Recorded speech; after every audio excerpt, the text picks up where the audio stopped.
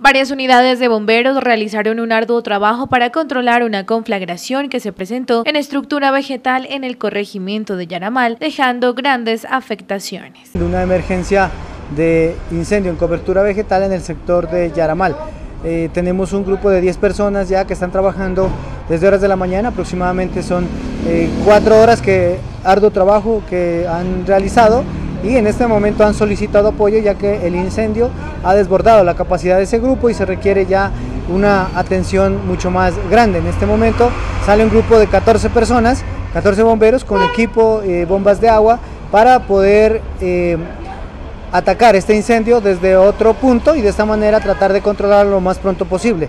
Hay algunas viviendas aledañas, asimismo hay infraestructura eléctrica que pueden estar en riesgo, eh, por esta razón se hace necesario poderlo eh, controlar de manera inmediata. Hemos eh, recibido inclusive algunas llamadas ya de otros organismos como Policía Nacional, eh, organismos de socorro que están pendientes para poner personal en caso de que se requiera más apoyo.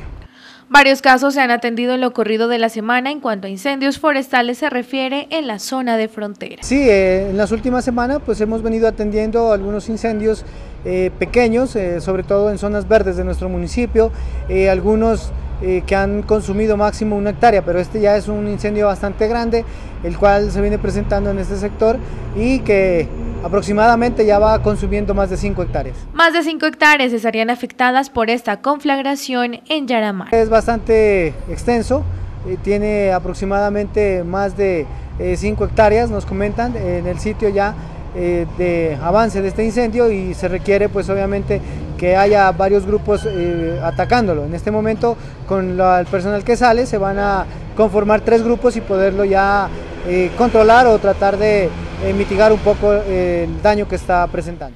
Este tipo de situaciones se presentan por varias causas, entre ellas el incremento de la temperatura en los últimos días, la realización de quemas agrícolas sin el debido control y también porque personas inescrupulosas por diversión incineran las zonas verdes.